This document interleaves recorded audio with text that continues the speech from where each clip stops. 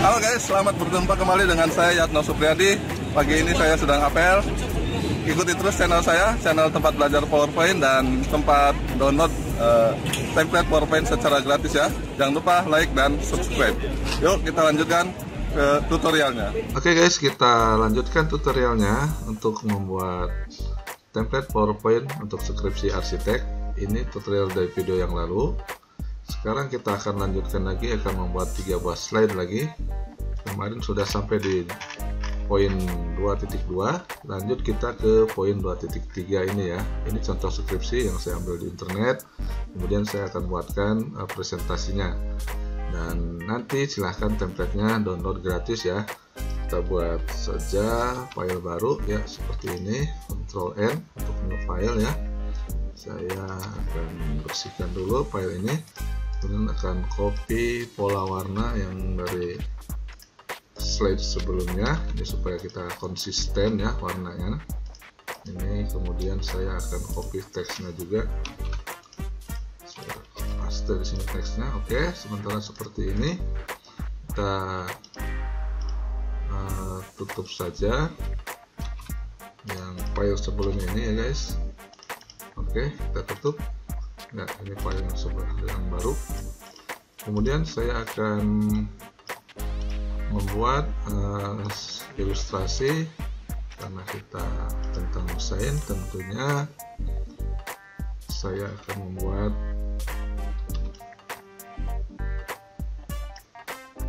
template yang minimal menggambarkan desain kita ya. Oke saya akan saya sudah buat nih ya dua buah shape kemudian kita klik kanan format shape kita hilangkan garisnya garis luar ini outline. Dan lain ya final lain. Kemudian kita fill dengan gambar. Saya akan pilih gambarnya dari komputer yang sudah saya download dari internet.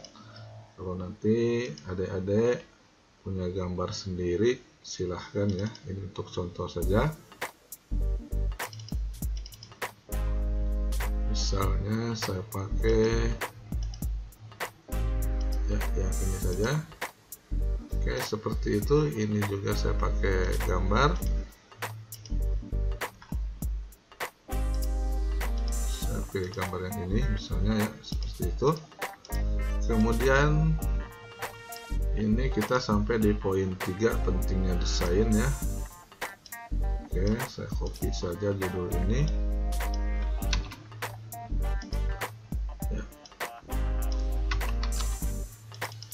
paste spesial teksnya kemudian kita pilih warna teksnya dengan warna ini. Oke. Lanjut kita uraiannya di sebelah sini saja ya. Saya akan ambilkan uh, satu alinea saja di sini. Kemudian saya pastikan di sini. Kita ganti uh, warnanya. Ambil warna yang ini oke seperti itu. Kita jom dulu atur dulu.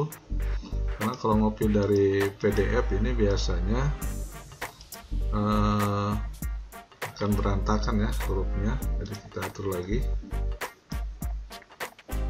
Jadi poin 2.2.3 ya. Sini. Kemudian sini kita atur ulang lihat. Ini caranya tapi kalau ada-ada ya silahkan aja copy aja dari skripsinya langsungnya dari Word kalau dari PDF biasanya berhamburan seperti ini. Oke sudah selesai sudah saya rapikan seperti ini. Atau teksnya kita kasih warna hitam saja tapi agak pucat ya agak pudar abu-abu ya seperti itu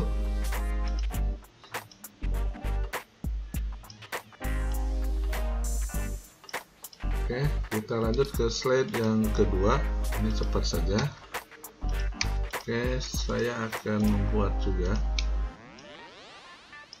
Ini lanjut ya, tadi 2.3, sekarang 2.4 ya. Jadi kita buat juga ilustrasinya seperti ini. Kemudian saya akan membuat ilustrasi lagi. Oke, saya tempatkan di sini ini duplikat dan duplikat. Oke kita hilangkan garisnya. Ini hilangkan garisnya ini hilangkan garisnya dan ini juga kita hilangkan garisnya. Tarik lagi sedikit ke bawah. Kemudian kita kasih gambar di dalamnya. Oke seperti ini. Ini juga kita kasih dengan picture ya. Oke kita pilih gambarnya ini misalnya ya supaya cepat saja nanti silahkan diatur untuk posisi gambarnya. Dan ini juga kita ambil gambarnya. Gambar arsitektur tentunya. Oke seperti itu. Kemudian saya akan copy teks ini. Saya copy paste di sini. Ya kita atur ulang. Oke. Seperti ini 2.4 kita atur alineanya. Ya seperti itu. Uh, kemudian ini kita rapikan dulu supaya sama rata kiri kanan ya. Oke.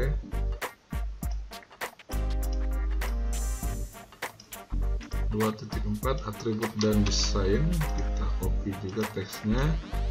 Ini caranya paste spesial unformat text ya oke. Lanjut kita saya akan ambil contoh satu saja alineanya silahkan teman-teman untuk ya mengatur sendiri ya ini untuk contoh saja supaya cepat tutorial kita. Tinggal tambahi aja nanti teksnya. Oke saya atur ulang. Karena teks dari pdf yang berantakan masih. Oke saya contohkan lagi ya ini ABC saja dulu saya kopikan. Kemudian di sini saya akan paste spesial. Oke. Ya. oke. Kemudian saya poin-poinnya saja. Seperti itu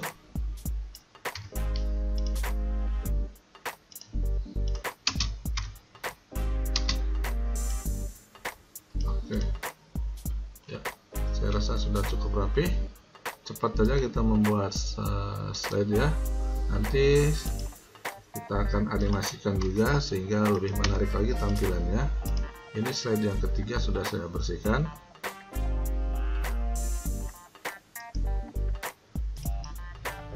Oke di slide yang ketiga saya akan membuat ilustrasi juga. Satu saya duplikat. Dua seperti ini oke kemudian saya duplikat ini kita simpan ke bawah seperti itu ya. Ini kita hilangkan lainnya no lain no lain dan no lain. Kita isi dengan gambar dalamnya.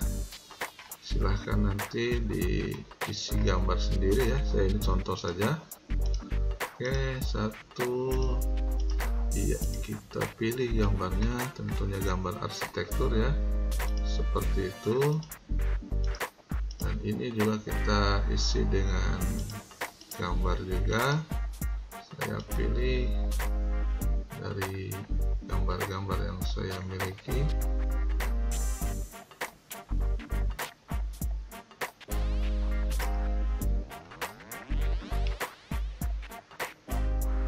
Oke mungkin pakai yang ini lagi. Ya seperti itu. Saya tinggal kopikan teksnya oke di sini kita simpan sebelah kanan. Oke kita atur ulang. Ini teksnya nanti kalau ada-ada kurang ya tinggal di duplikat saja tambahi seperti ini untuk menambahnya ya. Saya supaya cepat saja. Oke. Sekarang 22.5 atribut dan dokumen saya kopikan. Kemudian kita paste di sini pastenya kalau dari PDF saya pakai paste spesial ya. Dan format jadi tidak merubah format di sini. Kemudian saya ambil alineanya. Oke saya paste juga di sini. Alt e s paste spesial ya seperti itu. Kemudian ini harus diatur lagi. Karena ini dari PDF ya oke sudah cukup. Kemudian di sini ada uraiannya saya kopikan saja uraiannya oke. Kita kopikan di sini.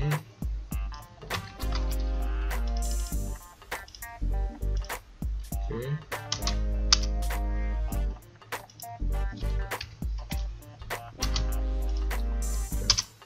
Kita ambil poin-poinnya saja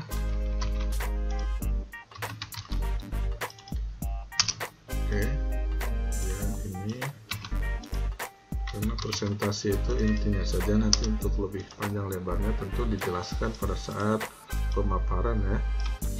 Jadi cukup dengan poin-poin penting ya. Kita masukkan di slide kita seperti ini. Buat adik-adik yang masih kuliah silahkan nanti di download ya. Ini templatenya digabung-gabung saja. Uh, lihat video-video sebelumnya ya saya contohkan ini. Oke. Kemudian kita kasih poin sini nomoran oke seperti itu. Ya. Saya rasa sudah cukup ya. 1 2 3 kita sudah punya slide yang bersih rapih ya. Nah, menarik perhatian ya seperti ini templatenya. Silahkan diganti-ganti saja. Uh, untuk yang selanjutnya nanti tunggu uh, video saya yang berikutnya. Ini sementara tiga dulu saya akan animasikan. Kita langsung saja ke tab animation. Kemudian kita pilih animation pen ya. Lihat kita akan menganimasikan ini dulu dua nih. Saya akan bersamaan masuk ya. Satu kita play in dari kanan. Pilih play in kemudian ini arahnya dari kanan ya. Kemudian uh, startnya on click durasinya 0,5 atau kita naikkan 0,75 ya. Kemudian saya effect option saya pilih bonds di sini pantulan di akhir. Ya seperti itu. Saya tinggal kopikan dari sini ke sini yang di bawah. Tapi ini arahnya dari kiri ke kanan jadi startnya kita pilih with previous ya. Kalau yang ini on click startnya yang kedua ini with previous jadi sama-sama. Ya sama-sama seperti itu. Lanjut kita ke teksnya ya. Kita animasikan teks ini. Add animation kemudian saya pilih kita lihat uh, wipe. Ya, seperti itu kemudian startnya on click durasinya 0,25 ya kita coba. Ya seperti itu.